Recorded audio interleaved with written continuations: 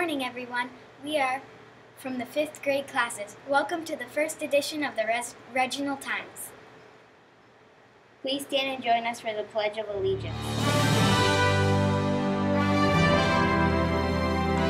I pledge allegiance to the flag of the United States of America and to the republic for which it stands, one nation, under God, indivisible, with liberty and justice for all. Please be seated.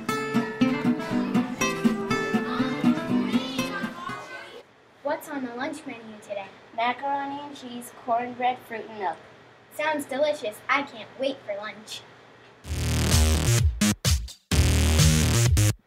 The announcements for today are as follows.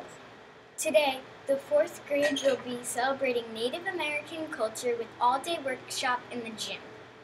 Our school's wide bowling trip will be held at the All Stars Lanes tomorrow, Friday, January 26th. Looking forward for everyone getting a strike. Next Monday, January 29th, is the annual Geography Bee for 5th and 6th graders. Birthday shoutouts go to Mrs. Radcliffe, Abby, and Quentin.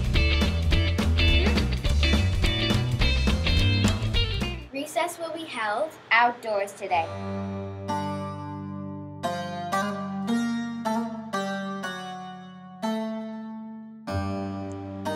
The following is a quote from Nelson Mandela Action without vision is only passing time.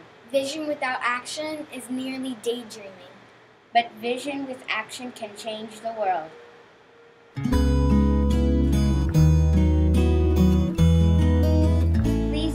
For our daily affirmation.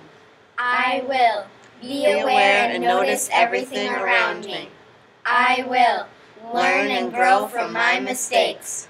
We are RSE. Thank you for watching the Reginald Times. Have a wonderful day.